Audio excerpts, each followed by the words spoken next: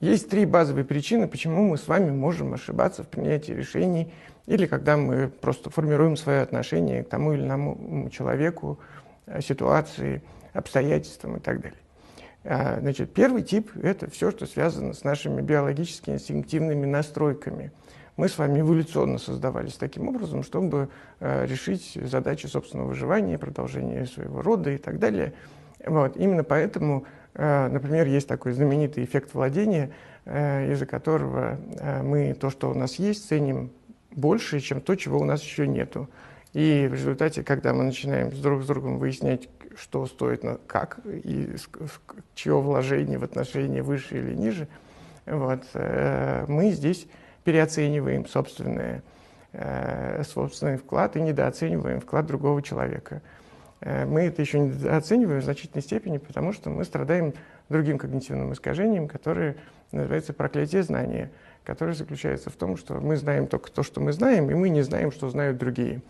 Вот. Э, и другие могут чего-то не знать про то, что мы для них делаем, например, а они даже про это не задумывались никогда. И мы считаем, что мы сделали много и сделали вклад большой в отношения, а на самом деле Э, тот человек считает, что мы только над ним издевались и ничего хорошего ему не сделали. Вот, э, значит, э, это когнитивные искажения, обусловленные нашими инстинктивными факторами. Вот. Но при этом наш мозг еще с вами как бы сам имеет свои собственные настройки. Это же куча нейронов, которые работают по определенным правилам. И, например, вот есть то, что называется языковой рамкой. После того, как вы, например, что-то как-то назвали, вы уже формируете к этому отношение. У каждого слова есть своя коннотация. Э, коннотация – это вот дополнительные смыслы, да, э, которые это слово с собой несет. Если мы что-то обозначаем как там э, безобразное, то мы будем естественным образом смотреть на это только с этой точки зрения. Хотя, возможно, там есть что-то красивое, но уже после называния мы оказываемся заложниками. Точно так же вы другого человека можете посчитать э, там, каким-то неинтересным или непорядочным, и после этого вы будете искать только подтверждение этой своей убежденности. И это связано как раз с тем, что вы уже заикарили, повесили ярлык, и после этого вынуждены, собственно говоря, повторять эту историю.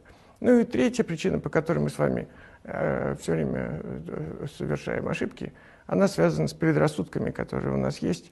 Э, эти предрассудки обычно культурного такого плана, да, мы считаем, что женщина должна вести себя определенным образом, мужчина должен вести себя определенным образом, начальник должен вести себя определенным образом, подчиненный должен вести себя определенным образом. Вы удивитесь, но начальники в Индии, в Соединенных Штатах и в России это три разных типа начальников. Вот. И, э, а реальные начальники еще более разные. И в России вы можете найти самых разных начальников. Вот. Но после того, как у вас сработал какой-то предрассудок, вы будете пытаться все интерпретировать, э, насколько он соответствует вашему образу, вашему ожиданию, вашим предрассудкам. Э, и в результате мы теряем контакт с реальностью, мы не ощущаем ее, у нас постоянно к ней есть претензии. А чем больше у нас претензий к реальности, тем она хуже, э, эта избушка поворачивается к э, нам задом, а к лесу передом. Ну, точно не к нам. И поэтому надо понимать, что наше мышление все время нуждается в настройке, наводке, пере, пересборке. И только в этом случае мы будем видеть мир адекватно и будем эффективны в жизни, и будем строить счастливые отношения и будем добиваться успеха в профессиональной деятельности.